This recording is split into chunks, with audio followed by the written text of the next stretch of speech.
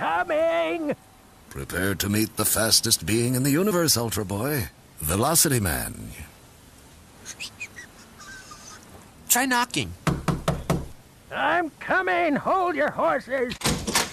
I'm looking for Velocity Man. Let me put on my costume.